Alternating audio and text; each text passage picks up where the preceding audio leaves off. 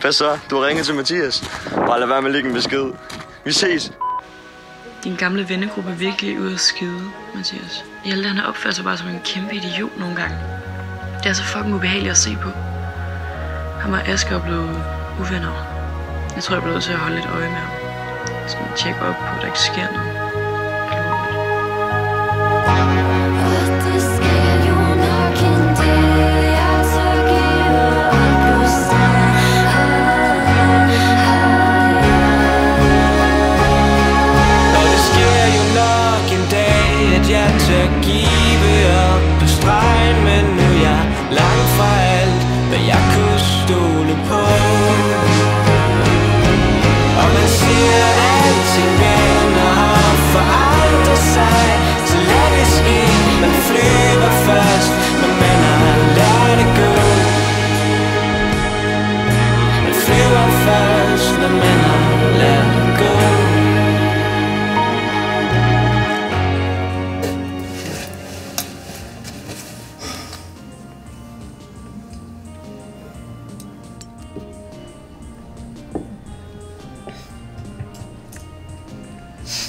Det er sygt mærkeligt. Øh, Madlu, hun har ringet fucking mange gange til mig. Hvorfor? Jeg tror, hun har hørt det om, øh, det om skoven. Asger? Ja. Så hun bare gerne snakke med mig. Jeg tror, du skal prioritere at snakke med, med Asger først, i stedet for med Løv. Han er ligesom højst prioriteten, tænker jeg. Jeg skal ikke snakke med Asger. Men altså, jeg har ikke købt billetter til på søndag. Mhm. Ja, ja. ja. Sindssygt. Det bliver også udsat for mig hurtigt. Vi kan bare komme til det. Vi er 20 eller noget. Hvad kan du have til? Hey. Nej, I bare har klasse eller hvad? Ja, bare et eller andet. Hvad Rune? Skal vi tage den i... Jeg skal du tro, du stadig bliver ved med at skille dig? Jamen, det er... Det er sådan, det er. Tak. Lad være med at gøre noget dumt. Bare bliv siddende. Det med kampen, hvad, hvad er planen egentlig? Er der ikke noget, du vil snakke med mig om? Det gør an på, om du har tænkt dig at slå på mig. Okay. Så burde du nok skrive.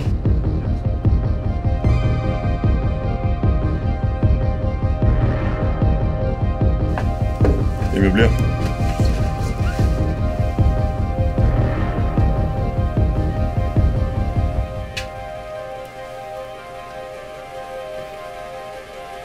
Fuck det her. Rumle. Jeg skriver. Ja. Sikkert. Skriver? Jeg bliver. Okay.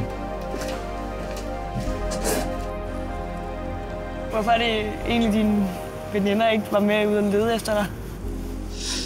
Altså sådan, det plejer de jo ikke rigtig at gøre sådan noget. Det er jo heller ikke rigtig venner. Nej, men Sine. Sine kunne jo godt have gjort det, hvis ikke det var fordi, at, at Isabel var der. De virker også lidt som nogle lorteveninder. Ja, det er også... Det er jo svært, altså. Isabel får jeg jo til at forblive venner med hende ved at, ja, ved at fryse jer ude, hvis I siger nej, eller hvis I ikke gider. Og der er ikke nogen, der gider at være fryset, frosset ude. mm. De lyder altid som nogle virkelig dårlige veninder. Det er de nok også. Du skal altså også lade være med at hænge ud med de der 3.G-drenge. Jamen, det har jeg jo heller ikke lyst til. Det er jo også bare... Man kan ikke rigtig gøre så meget, hvis Isabel siger det. Hvad skete der egentlig ude i, øh, ude i skoven? Altså, jeg kan egentlig ikke rigtig huske det. Det er også svært nok. Kan du huske, hvordan det var, at du kom tilbage? Øhm, der var sådan en øh, mand, jeg mødte, som hjalp mig hen til en sti, hvor jeg så kom ned til dig, Nova. Hendes hus. Øh, jeg ved ikke rigtig, havde jeg ikke mødt ham, så kunne det godt være, at jeg stadig gik rundt derude. Så det var måske meget rart, at han var der. Hvad var det for en mand? ved det ikke rigtigt. Det er ikke nogen, der ved. Men det er godt, du er sammen med os nu. Hæng Det er lidt det, jeg ud. hele tiden har sagt. jo. Ja, Du hæng lidt ud, når os. dine veninder er nederen, så. Ja, I er også bare sindssygt nice. Mega unge og sådan noget. Det er vi sgu da. Ja, vi er sgu da egentlig der er mega kedelige. Det er vi da overhovedet ikke. sådan lidt halvkedelige måske. Hey, I hænger ud med fucking tredje gange fra vores Jamen, de er Og også voksne. Men I er der jo snart. Vi er da overhovedet ikke De er heller ikke voksne. Vi gør også ret mange vilde ting, faktisk. Ja, okay. Hvad, hvad for nogle vilde ting gør I så? Vi var jo i sauna her den anden dag. Ja, det, gik, det var faktisk ret vildt. Det var vildt hyggeligt. Okay, hvad lavede I så der? Så der var noget vin og... Ja, vi drak rødvin og sådan Så I sådan festet, eller hvad? Ej, det var bare, det var bare os tre. Men det var ret fedt. Okay, men hvad, hvad skete der så i saunaen? Altså, hvad skete der ikke i saunaen? Ja, det skal nok mere der, vi er. Jamen, det stak fuldstændig af, jo. Hvad skete, hvad skete der? Vi var ude ved søen. og... Ja. Du, du stod og råbte helt vildt. Ja, ja. ja. Så, øh, er der nogen, der vil bolle? Ja. ja. Var der så det? Der var i hvert fald Der var nogen, der der var ja, ja. Og det var De så tæt. crazy, så kom de kørende hen mod os, og så blev vi bare væk. Vi drak faktisk vildt meget vin også. Festestiv. Ej, Sofia. Se, det her, det er wild. Lad lige den der ligge. Det er så fucking sjovt. Det er fucking sjovt. Du, du skal ikke... Du, du får det i munden, og så du kvalt. Okay. Nej, ved du hvad? Nu fyrer vi den simpelthen af. Ej, Nova. Kom, Sofia. Gå den bare Det er ikke vores, lad den ligge. Slap af, Alberte. Ung for evigt.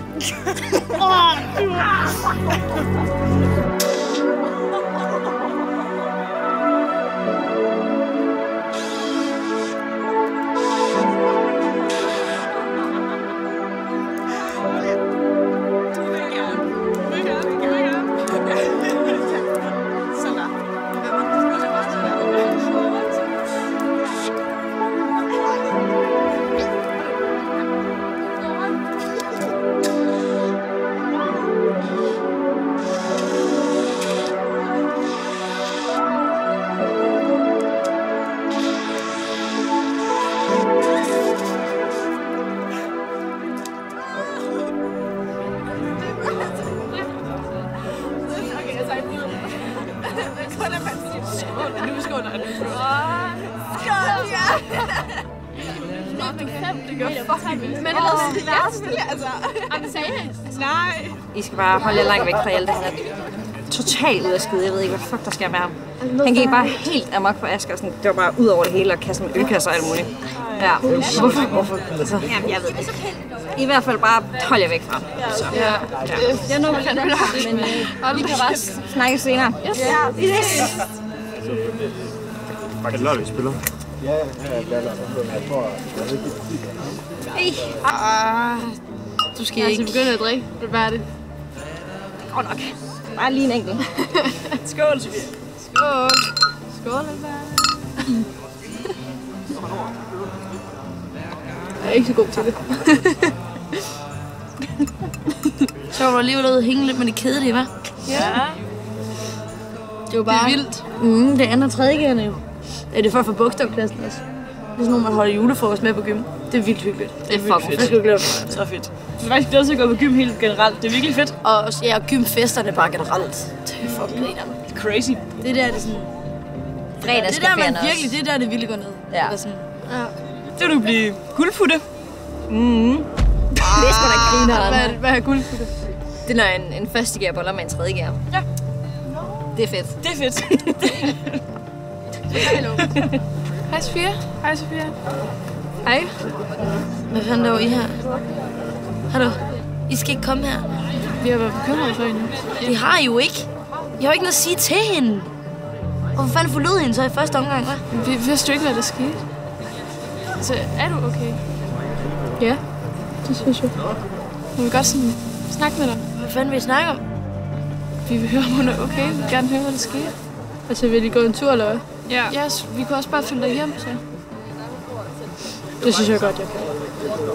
Det er fint. Jeg er okay med det. Det er ikke mere end en halv time, der. Nej, nej. Maks en time.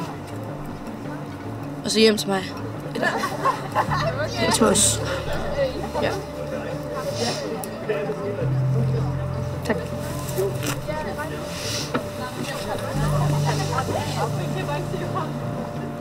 Hun virkede da ikke så slem, hende der Isabelle. Men det er hun. Min mor hun spurgte, om vi ikke ville hjem til mig og bare spise noget pizza. Det kunne være ret hyggeligt. Ja, men det var nemlig også det, jeg tænkte. Mm. At det kunne være ret hyggeligt, ja. Er du bange ud i skoven, eller hvad?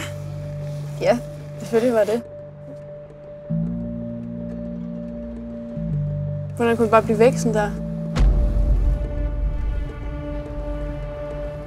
Det, vi legede det der dåseskjul, og så havde jeg fået for meget drik, og min telefon der var gået død. Og så, øh, så stødte jeg egentlig ind i Hjalte, som satte mig af ved et træ, hvor jeg så også troede, I måske ville komme tilbage og hente mig. Men Jeg tror bare, du var sammen med nogle andre. mm, hvem skulle jeg være sammen med? Altså, det var jo jeg, jeg var Har du sammen sagt til din søster, at det var vores skyld, at du blev væk, eller hvad? Nej. Hvor var hun så sur, egentlig? Det er jo nok bare fordi, hun ved, hvad vi går rundt og laver. Og det er hun nok ikke så glad for. Er du sikker på, at du ikke har sagt til din søster, at det var vores skyld? Ja.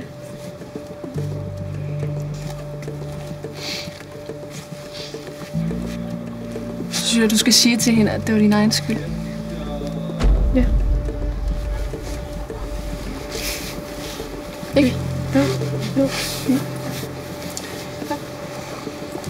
Kan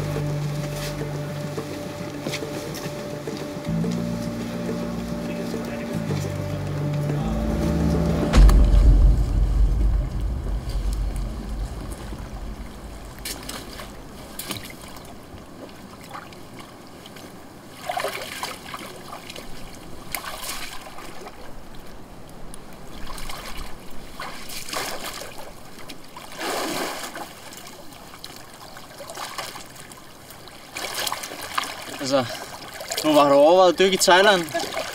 Altså lidt federe end det her. Jeg havde da advaret om det. Jo, Du synes ikke, det er dejligt? det er okay. Nå, når vi nu kommer i gang med at dykke, så skal du holde godt øje med mig, ikke også? Ja. Men vi dykker jo sammen. Altså, Ja, ja. og jeg skal nok også passe på dig. Det Tak, Hjalte. er jo så lidt. Jamen, det er mere, hvis at, øh, du lige bliver taget af strømmen. Så skal du kunne se mig hele tiden. For ellers så kan du godt komme øh, 300-400 meter væk. Og så er det helt mørkt. Så Okay. skal du bare slappe helt af i kroppen. Ikke noget med panik. Og så kan du mærke, at din krop den langsomt bare falder længere og længere ned. Og sådan 10-20 meter ned skal du bare huske at trykventilere. Ellers så øhm, gør det virkelig ondt. Men når du er ned til 30 meter, så springer dine trommehænder. Det gør fucking ondt lige i starten, men det bliver bedre. Ja. Og når du så rammer bunden, så har du cirka en times ilt, så skal jeg nok lede så meget jeg kan. Og ellers så tager du den bare ud, når der ikke er mere ilt i, så besvimer du bare. Jeg tror, at hjertet kan klare cirka 10 minutter i den tilstand. Og så hvis du dør, så flyder du bare op. Så skal vi nok finde dig. Okay? Altså, jeg ved ikke lige, hvor meget jeg har fortalt om den Thailand-tur. Men det var, vi var kun uden eftermiddag. Mhm. Og sådan, det, altså, det var også blandet med alkohol, så det var slet ikke så seriøst. Så jeg ved altså ikke lige om... Slap af, Hjalte. Jeg skal nok øh, passe på dig. Det bliver bare en lille tur. Okay. Okay? Men øh, har du tænkt dig at tage dig hen med det der? Hvad mener du? Du kommer til at dø af kuldechok. Okay. Skal du have lidt hjælp måske? Jo, tak. Ja. Den her. Ja. Jeg tror du... Så tjekker vi lige. Hvad så? Gør du godt kunne trække vejret derude måske? Ja. Kunne det være fedt? Ja, det kunne rigtig fedt. Så tænder jeg lige på din... For selvom du ikke Sådan. Nu er du sgu da klar. Ja. Mm? Står jeg Nej. venter her på dig Ikke nu.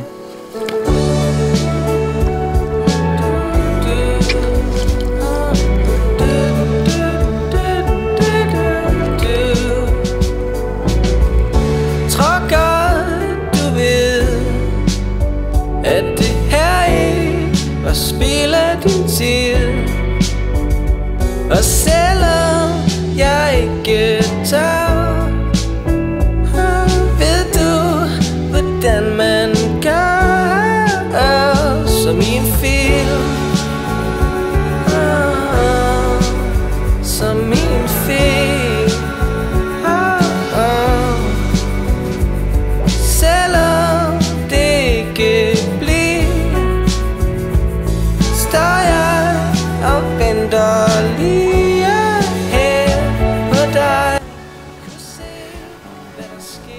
Helt ærligt. Tror du på, at der findes en skat herude? Ja, det gør jeg da. Helt seriøst. Ja, Mathias han sagde det jo. Ja. Han lukkede fandme også meget lort ud. Ja, det gør han. Men øhm, jeg har jo også researchet det, så det er ikke kun hans ord, jeg går ud fra. Okay. Det ville også være ret trist, hvis der ikke var nogen skat. I Mm. forhold til, hvor meget jeg dykker. Det er rigtigt. Hvad skal du egentlig senere? Mm. Jeg skal ud med Alberta og Laura, og nogen fra klassen. Ude Ja. ja. sejs. Jeg drikke nogle øl og sådan. Nice. Hvad med dig? Altså, det kunne være, jeg skulle tage med dig. Ja. Altså, det er jo mest gear, så jeg ved ikke, om du kender dem så godt. Måske ikke så fedt. Men hvis de går på gymnasiet, så har jeg jo set dem før. Mm. Det ville måske også være lidt mærkeligt, hvis vi to kom sammen. Du har jo lige slået dem med Lu og jeg Mathias' lille søster. Det er en lidt mærkelig kombination. Det er ikke mærkeligt at komme sammen til et arrangement. Og så efter det, der er sket med Asger og sådan noget. Så Okay. Altså fordi folk er bange for mig. måske skal vi bare holde det lidt low-key. Altså, vi kan jo stadig godt være sammen. Vi behøver måske bare ikke at gøre det foran hele gymnasiet. hvem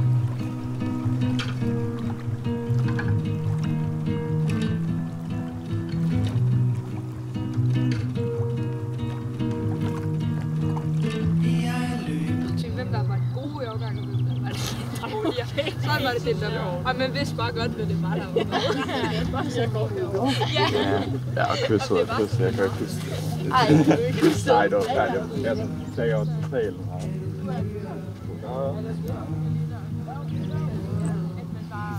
Hvad har du egentlig lavet i dag, Nova? Ikke så meget. Nej.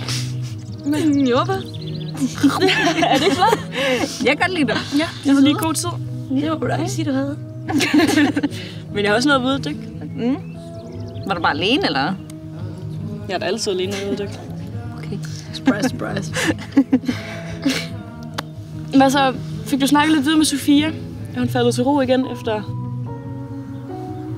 Nej, det var hun faktisk ikke. Hvad så? Her i går, øh, for eksempel, der kom hun hjem og fablede om, at det var øh, hendes egen skyld, at hun forsvundet øh, ude i skoven. Var det ikke Isabella Sines skyld? Jo, det er åndssvagt, for det, det ville aldrig kunne være hendes skyld. Det giver ikke nogen mening. Øhm, så er hun også begyndt at gå i søvne. Hvordan går I søvn? Nogle gange så, øh, så kan jeg vågne. Ja, det kan høre et trin nede i stuen. Og så hende, der bare går rundt og spørger efter hjælp.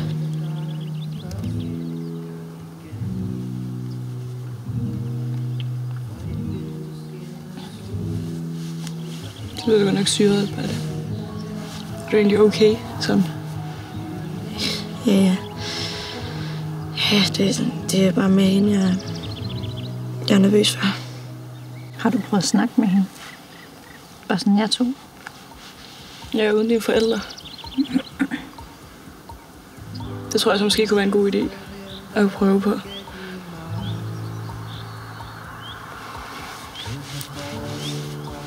kan godt være, at jeg har i det.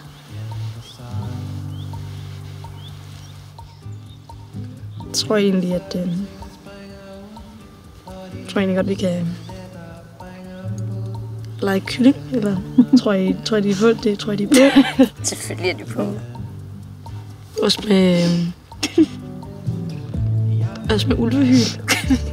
og det hele. Er de tror jeg- mega tror jeg på. seriøst, tror jeg Nej, det tror jeg, Albert. Det tror, tror jeg, de gider. Okay, så skal vi lade os op, så skal jeg hjælpe dig.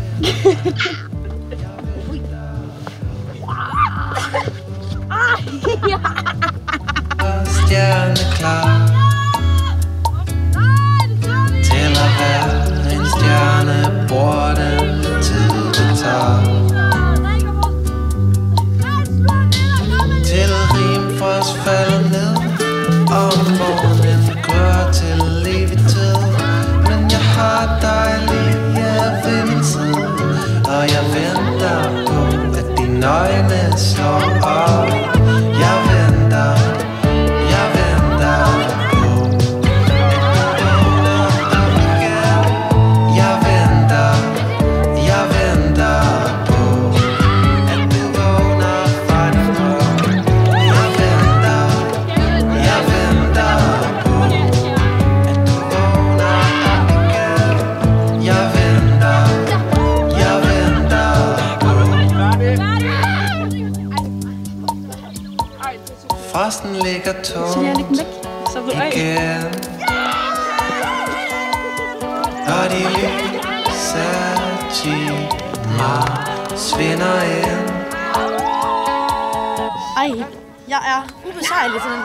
Det var da også vildt fedt, de gør mig med sådan. Ja. Hallo, piger! Hvor er I på vej hen? Vi skal bare ned og tisse. Nå, okay. Jamen, jeg tror, jeg smutter så. Nå. Hvorfor? Jeg, jeg skal bare videre. Okay, du må hilse så. Skal jeg nok. Tak. Vi snakkes. Ja. Hils. Rumle. Okay. Rumle? Mm. Er det blevet en ting nu, eller hvad? Ja, du følger ikke med. Nej. Er det, du skriver med? Ikke nogen. Oh, stop. Fuck. Nej! Okay, okay. Fuck, det er flot. Nej, wow. Det er pænt. Du skal have profilbillede. Du har aldrig haft profilbillede. Du ser med perlerne, du ser fucking godt ud. Det tror jeg så ikke. Jo. Giv mig den mobil. Altså, er der nogen, jeg ikke må se, eller hvad fanden foregår der? Så tager det. Okay, godt. Er du klar? Ja. Kom nu bare. Please. Okay, okay.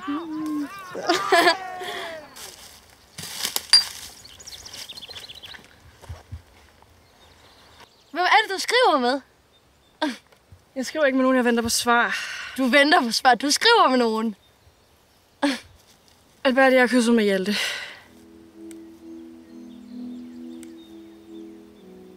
Hvad har du?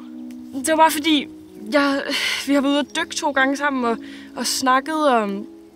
Og så skete det bare lige pludselig. Oh my god. Er du sur? Jeg er meget fucked. Altså, hvis man ser bort fra, at han er lidt af en psykopat. så er han også mega sød. Mm. Har I... Øh... Hvem spørger lige om det? Det gør din veninde sgu da. Ja, hende som skulle aldrig selv få noget action. som lever på din action. Øh, Konstant friendzone. Alfred. Alfred. Dengang Hvad vi med lavede, der var han med uld, så løb han bare stor bue rundt om mig, for at komme hen og tage dig. What? Mhm. Gjorde han? Ja. Mener du det? Ja. Ja. okay. Men øh, jeg tror bare, han er lidt sød, Hjalte. Så. Hvad fanden laver du så her? Jeg hygger sgu da med dig. Du skal da til ham, hvis du har lyst. Jeg kan bare ditch. Det kan du da. Det skal du da. Du vil jo gerne op til ham. Hvad, hvad skal du så?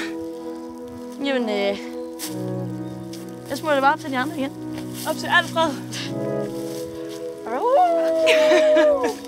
Så ses vi, Alberte. Vi ses, Nova! Au!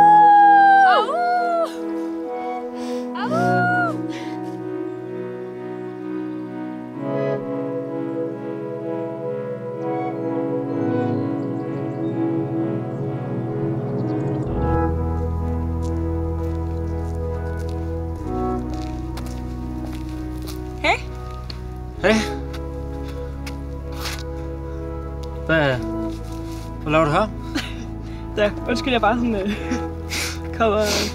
Ja. Jeg er faktisk på vej hjem til dig, fordi Okay. vi havde jo ikke sådan rigtig en aftale. Nej. Så jeg tænkte bare, jeg ville prøve at se, om du var hjemme. Ja. Hvad laver du her? Øh, jeg skulle hente øh, min lille søster. Ja. Nej, derovre. Hun er jo hos en øh, veninde. Okay. Jeg har bare tænkt lidt over det, der jeg sagde før. Men vi skulle holde lidt low-key og sådan noget. Det synes jeg ikke, vi skal. For det går fucking lige meget, hvad andre folk tænker. Og jeg synes bare, du er ret nice. Og kan virkelig godt lide at hænge ud med dig. Lige måde. Fedt. Mm. Mm. Men øh, hvor lang tid tror du, det tager at hente din lille søster? Mm, det kunne godt tage noget tid. Så vi er alene hjemme.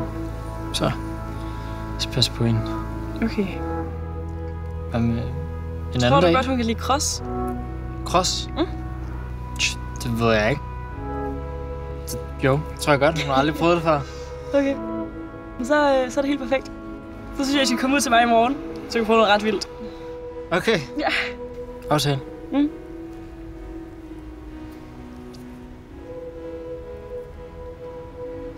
Men så ses vi bare i morgen. Det gør vi. Ja. Og undskyld, jeg bare kom sådan øh, og stalkede. Det sker ikke igen. Godnat, Hjalte. Godnat, Nova.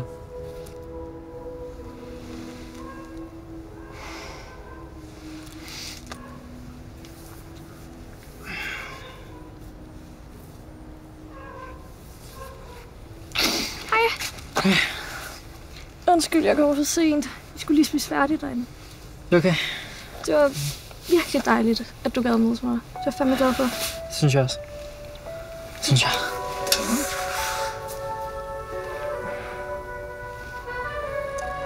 Er du, du er okay? Mm? Du virker lidt.